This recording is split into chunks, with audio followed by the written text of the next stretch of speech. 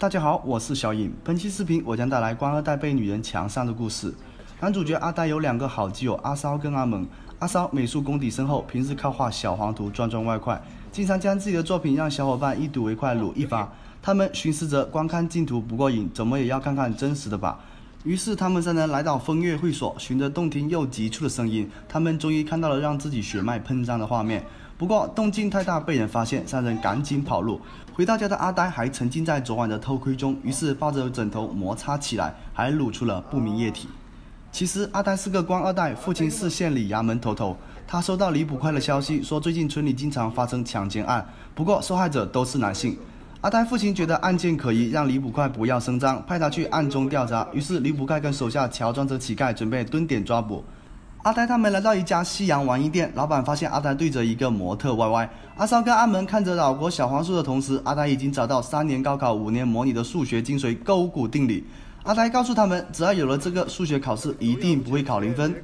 在回去的路上，阿呆偶遇了心动女孩女主佳佳，姣好的面容让阿呆看得目不转睛，结果当的一声倒地不省人事。周末浪完，三个好基友又回到了学校。三年落榜的阿呆依旧拿本书装逼做学渣，阿门还在做他的下海岛国翻译梦，唯有阿骚一直坚持绘画小黄图。这天听说学校招了一批小姐姐，个个如花似玉，还单身。阿呆还发现，在小姐姐中心动女孩佳佳也在。看过这些小姐姐，阿骚画出更加逼真的小黄图，还拿来给好基友看。阿门看后不淡定了，一旁研究勾股定理的阿呆也不能好好学习，索性一起研究其中的奥秘。他们准备到茅坑撸一发，阿蒙先来，阿呆只好拿本书在外面继续装逼。结果他们两个人都被掳走。乔装成乞丐的李捕快路过这，发现阿呆随身令牌。阿呆跟阿蒙被人带到小黑屋绑了起来，两个男的被一个女的观音坐莲举高高。第二天一早，打水路过的佳佳发现了他们，将囚禁他们的布袋打开，可能觉得自己被羞辱了，他们无地自容，急忙跑开，让一旁的佳佳非常懵逼。阿呆让阿蒙先回学堂上课，自己回到小黑屋寻找线索。通过勾股定理判断出强暴自己的女子身高五尺半。回来的阿蒙鬼鬼祟祟，引起了阿骚的注意。在阿骚的逼问之下，阿蒙将他们昨晚被举高高的事说了出来。阿骚一听，阿西巴，你们这些做兄弟的太不够义气了，那么好的事竟然不叫上我。李捕快将昨晚捡到的令牌交给了阿呆父亲，阿呆父亲一眼就认出这是阿呆的。他询问阿呆前晚是不是去夜店玩了。阿呆解释道：“父亲，我这次是抱着必胜的心态去复习，怎么会呢？”估计是我晚上买宵夜不小心掉了吧。阿呆找到阿骚跟阿蒙，说自己父亲今早还说最近有个女变态很猖狂，要他小心。阿呆觉得为了防止更多人受害，当务之急就是找出这个女变态。阿呆记得女变态屁屁有颗大痣，事发当晚还有一种特殊香味让他们打喷嚏，所以晚上三人觉得先从学校的女同学下手。他们在女澡堂外蹲点，准备看看谁屁屁上有颗大痣。结果阿蒙痣没看到，口水倒是先流了出来，还被人发现。一计不成，再生一计。阿骚收买给予自己画作已久的狗剩，怕他将这些加了泻药的试纸品送给女同学吃。狗剩将试纸品交给佳佳，佳佳打开的时候又被老师发现，所以老师就说：“同学有好东西记得要分享，独食难肥。”结果老师跟班上的男生都吃了起来，女同学一个都没吃。阿骚在茅厕早已蹲点，就等女生们的来到。随着教室可燃气体浓度飙升，还伴随着屁响。阿呆他们迎来的是以老师为首的蹲坑大队，老师甚至还没站好位就失禁了。他们三人非常郁闷，这次计划又搞砸了。看到村里的傻子，只好调侃下安慰自己。傻子身上的气味让阿蒙打起了喷嚏。他们发现当晚就是这个味，所以一路跟踪到了傻子家。傻子有个买来的漂亮媳妇，他们戳破纸窗，发现傻子媳妇身材玲珑有致，堪称极品。他们越看越得劲，结果纸窗越戳越大，被傻子媳妇发现了，拿着棒棒就跑了出来。他没有回房，而是躲在角落，还看到了蹲点的李捕快。李捕快看到胸肌如此浮夸的女子，目光呆滞，被当成偷窥狂处理。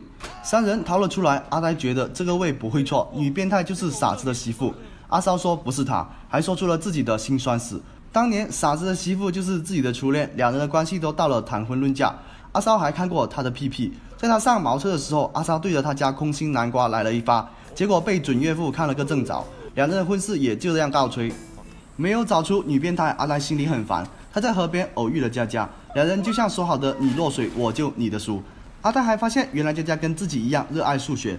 起来的佳佳浑身湿透，那浮夸的胸肌让阿呆小兄弟坚不可摧。为了避免尴尬，阿呆只能蹲着。阿呆发现自己爱上了佳佳，在集市还专门为她买了一对绣花鞋。佳佳也觉得自己对阿呆有了好感，因为他们有共同爱好数学。之后，佳佳经常请教阿呆问题，阿呆也总能回答。比如这次这个，请计算下月球的倾斜角度。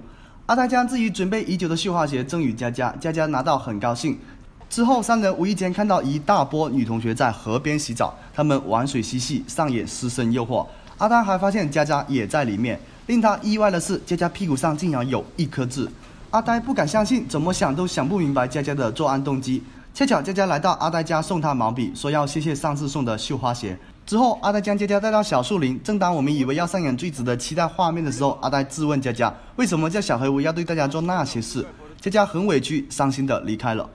当晚又有人被抓，带到了小黑屋。第二天一早，又是打水的佳佳发现了受害者。不过他们一致认为女变态就是佳佳，所以佳佳被逮捕受刑逼供。阿呆知道自己错怪了佳佳，因为案发时自己在跟佳佳见面。阿呆去到大牢，问佳佳为什么不给自己辩解。佳佳解释道：“我说了他们会相信吗？”所以阿呆决定一定要找出真凶，还佳佳一个清白。他们发现路上的三个混混很可疑，本想跟踪人家，结果反被跟踪。关键时候，三个好基友还告诉我们，什么叫做大难临头各自飞，强行卖队友。